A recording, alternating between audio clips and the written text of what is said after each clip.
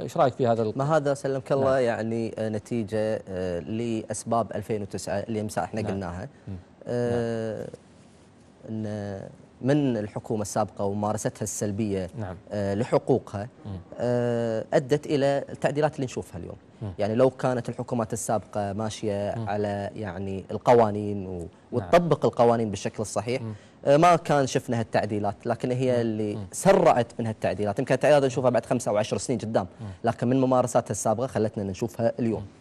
من ضمن المقترحات هي واضحة يعني قبل قليل ذكرت غازي أن قد يعني يريدون النواب من خلال هذه المقترحات أن تشكل الحكومة من أغلبية المنتخبة والنيابية. الدليل لا يصوت على قرارات المجلس إلا الوزراء المنتخبون. المنتخبين نعم. وبالتالي كانوا يريدون من رئيس الوزراء القادم إذا ما أقرت هذه أن أغلبية انه الوزراء يتم اختيارهم إجبارا راح يكون مضطر إنه يختارهم عن طريق طبعا النواب اللي تم نعم. انتخابهم نعم. من الشعب واضح إن التوجه إلى العمل على النظام البرلماني نعم أه أه الأستاذ فيصل يحيى أه أو لحية آسف أه نقابي قديم. ولا يعني مسيرة كفاحة في هالمجال وليس بالرجل الهين. فبالتالي خطواته دائما صحيحة أشوفها في الطريق الصحيح. وبالتالي إذا هو ما محسوبة صح نعم محسوبة صح نعم. يعني بدال لا أني أنا أطالب مثل ما طالب بعض النواب والله نبي رئيس حكومة من الشعب والله ماني عارف إيش والله نبي حكومة منتخبة. والهاشتاجات اللي نشوفها في التويتر أو في برامج التواصل الاجتماعي أو من بعض المقالات المكتوبة في بعض الجرايد نعم. هو يابها بطريقه لافه عكس يعني نعم. ما ياها ما ما يابها directly شغلة ثانية انه مو بالضرورة انه هو كل التعديلات يبيها قد يكون أن الرجل آه يعني آه نعم. اقترح تعديلات آه ما يبيها أصلا بس هو يبي اللي أدنى منها بس نعم. ما يفاوض على الندى منها قاعد يفاوض نعم. على الكبير نعم. عشان يحصل اللي تحت اللي هو يبيه ممتاز من ضمن يعني المقترحات قد تكون نوعا ما واقعية إن الحكومة تحظى ب يعني ثقة المجلس قبل أن تمارس عملها إيش رأيك في هذا المقترح اللي نوعا ما يمكن الآن يعني شفنا كثير من الوزراء يعني مثل الآن مشكلة الوزير وزير المالية الشمالي. أعتقد لو كان هذا الموضوع موجود ما ما كان أساسا استمرت هذه المشكلة بحيث أن الحكومة تأخذ الثقة من المجلس قبل أن تمارس أعمالها في بداية تشكيلها. إيش رأيك في هذا المقترح؟ أتوقع أنه راح يكون جيد خاصة في بيئة مثل بيئة البرلمان الكويتي والحكومة الكويتية اللي دائما في صراع دائم مع بعضهم. لا دائما إن نلاقي الاتهامات من البرلمان للحكومة والحكومة يعني ترد على هالاتهامات. والدولة نوعا ما نقدر نقول مصالح العباد متوقفة. عشان والله أنا أساجل كنائب وأنت وزير. فأتوقع أن هذه قد تحل المسألة هذه. يعني قد تكون حل المسألة انه والله تعطين مصالح الناس. طيب بصفه إجمالية عندك تعليقات يعني معينة على أبرز التعديلات القاضي أو إنه يعني متوافق أو ترى والله في في هذا الشأن باختصار أنا أشوف إن نفس ما قلنا بالبداية إن من حق النائب يقدم تعديلات الدستورية.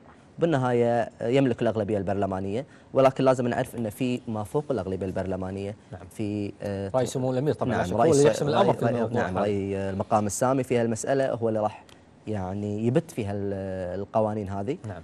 آه الله يوفق باللي فيه الخير ملاحظات في التعديلات أنا ما عندي ما عندي ملاحظات بالنسبة يعني يعني أنا قاعد أقرأ حاليا سطور بسيطة ولكن نعم. الأمور لابد أن نقرأ طيب. آه بعمق أكثر نعم. عشان نقدر الصباح أكثر. طيب جريده الصباح اعتبرت هذه التعديلات أنها انقلاب على الدستور. شنو تحليلك وقراءتك لهذا؟ الانقلاب الرئيسي لجريده الانقلاب على الدستور هو اللي يقول آه صكوا المجلس ما نبيه. وخلونا نرد الكويت ما قبل 62 هذا اللي ينقلب على الدستور أما أني أنا أقدم رايي وأقدم وفق مقترحات قانونية أو مشاريع قانونية هذا ما في أي تعدي على الدستور ولا غيره وبالنهاية الدستور ما هو قرآن كريم منزل صحيح. واللي حطوه قبل الصباح وقبل أي نعم. يعني جريدة مثل جريدة الصباح أو من الجرائد الجديدة نعم. اللي هم الدكتور أحمد الخطيب والجماعة نعم. المؤسسين قالوا إن هذا الدستور يعني راح يكون مؤقت لمدة خمس سنوات. لمده خمس سنوات. بعدين نطالع بعدين نطالع تعديله وحاولوا تعديله بالشكل السلبي وتصدوا لهم ال ال ال ال ال الأجداد والآباء. ويا اليوم إن إحنا هم نتصدى لها لأي ممارسة مثل هالممارسات أو مثل هالكلام اللي المغلوط يعني. شيء بالشيء يذكر يمكن أنا الآن الرأي تقول النائب صالح عاشور يعني واضح إنه من كلام اليوم موجود في جريدة الرأي بأنه مؤيد للتعديلات، قال إذا في تعديلات أنا ما عندي مشكلة بس أبي أضيف تعديل، شنو التعديل؟ المجلس الأمة هو اللي يحل نفسه.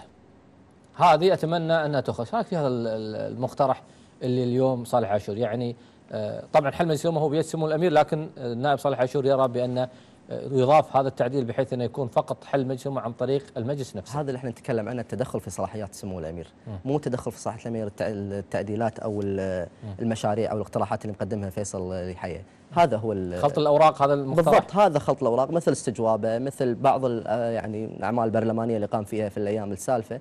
آه خلط الأوراق وتعكير للصف سير مجلس آه، الأمة الحالي وفق الأغلبية المتوافقة نسبيا مع سمو رئيس مجلس الوزراء الشيخ جابر المبارك اللي يستحق منا أن نوقف معاه ونشيد في دوره صراحة في الفترة الماضية. كون أن إحنا ما نطالب منه آه، كويت المنشودة اللي إحنا نبيها إحنا نطالب منه انه يسد فريات الحكومات السابقة عشان نقدر نبني. نبي بس يوصلنا لدرجة الصفر.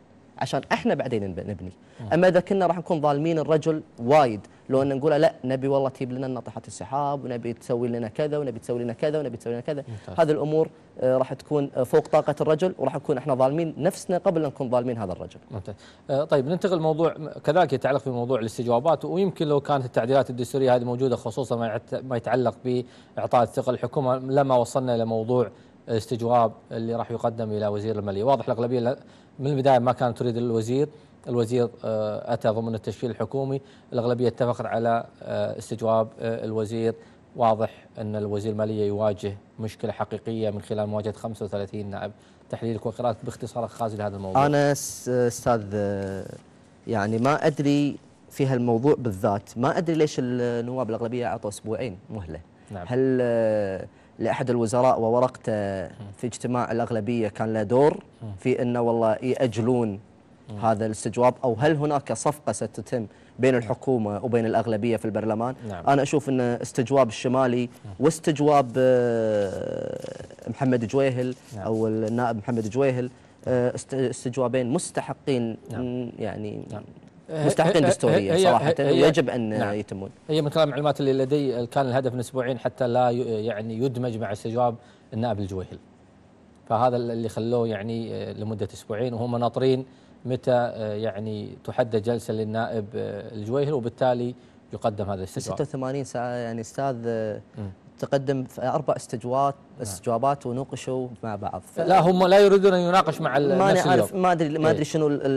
القضية في إني والله ما أناقش استجوابين في وقت واحد خاصة إن نعم. اليوم عندك أغلبية أتوقع إن لابد إنك يعني آه، تستخدم السلاح الأغلبية اليوم آه، طيب استجواب النائب الجويهل اليوم آه، يعني بالأمس قال هناك أكثر من 15 أو 25 ألف كويتي متزوج أمريكي اليوم نعم. السفير الأمريكي قال ما نعرف الرقم الصحيح لعدد الكويتيين الأمريكان وبالتالي اليوم رفع صورة لجواز آه، ابن النائب آه، خالد السلطان. نعم. أه نفس ما قلت لك استجواب محمد الجويهل من خمس محاور. أشوف ان من خمس محاور ثلاث محاور لابد يعني إنها تطرح. واساسا إحنا كنا عارفين إن طرح النائب محمد الجويهل من قبل لا يدش البرلمان كان في مسألة المزدوجين.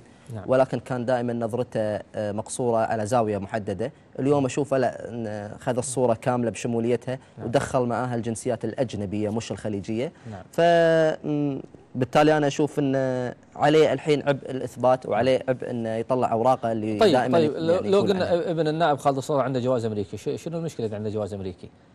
لا يملك جنسية يملك الجواز المعروف طبعا في الولايات المتحدة أي مولود آه، يلد على أرض الولايات المتحدة يعطى الجواز الامريكي وليس له الحق أن يتنازل عن هذا الجواز. حتى لو ذهب ووقع آه، طلب بأن يلقى هذا الجواز لا يلقى ابدا. معروف هذا الأمر كثير آه، من الكويتيين والعرب والخليجيين يعني عندهم الجواز الأمريكي لهذا السبب يعني.